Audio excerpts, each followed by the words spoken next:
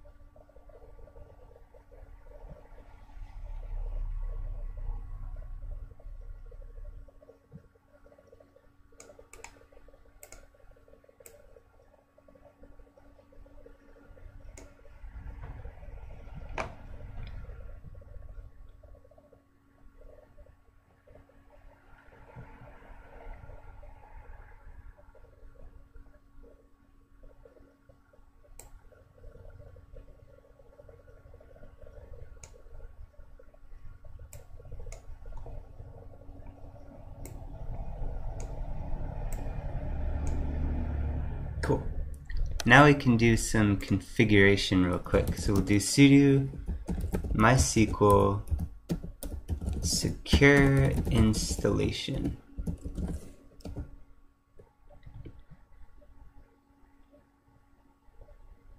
So enter the current password, which by default is none.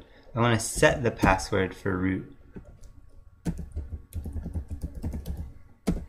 I'm setting the password here to password and I do not advise doing this for an actual database. This is just to make the code a little bit more easy to read so you can tell like this is the username and this is the password.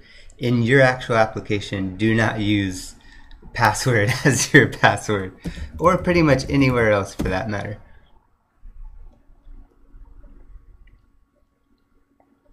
I will remove anonymous users. We'll be logging in as root in this application. Um, yeah, I'm going to disable it remotely. It's not being forwarded outside anywhere right now, so all of the access is going to be local, but let's disable remote access just in case. And yeah, I'll get rid of the test database. We're not going to be using that. And reload the privilege table. Cool. So now I need to enable the uh, password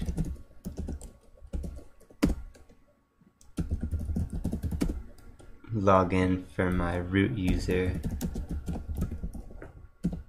Use the MySQL table. That shouldn't be user, it should be use. Alright. Update user set plugin equals MySQL native password where user equals root and flush privileges just to update all the tables. I spelled something wrong. Probably works better if you write privileges instead of privileges. Cool. Now we can quit. And MySQL is configured.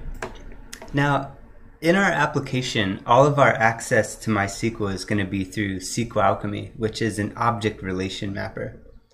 Basically what that means is it allows us to write Python code that represents our model and represents our interaction with that model without actually having to write the, the raw SQL code. And this makes our code a bit more portable because we can change the SQL backend.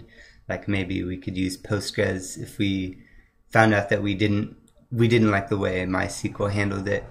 Um, so it makes it a little bit more portable. It also cleans up the code a bit conceptually.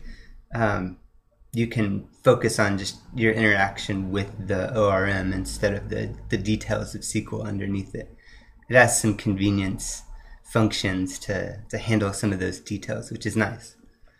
So we're going to be using the Flask web framework too.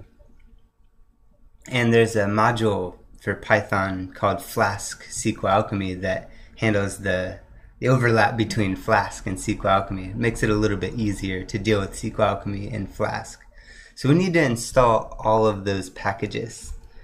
And you can do that just by doing a, you know, pip3 Flask SQL Alchemy and then Flask underscore SQLAlchemy will install that helper module. Um, and you'll want to use the command correctly for installing Python packages. Cool. On my system, I've already got them all installed, so that's good.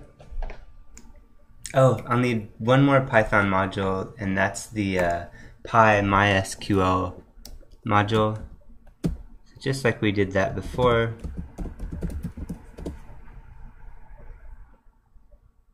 Cool. So that's going to be what SQLAlchemy uses to interface with MySQL. Like I said, SQLAlchemy can handle different SQL backends, and it'll take a different module to do the interfacing for that for each backend. Now I can go ahead and create a database in MySQL. So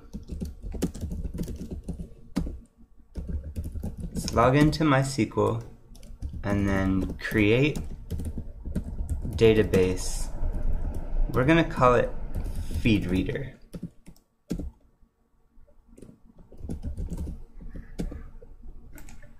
So now we've got our database set up, uh, we've got all of our Python modules installed, and we should be ready to go. In the next video, we'll start actually modeling these, uh, these tables using SQLAlchemy. So, bye!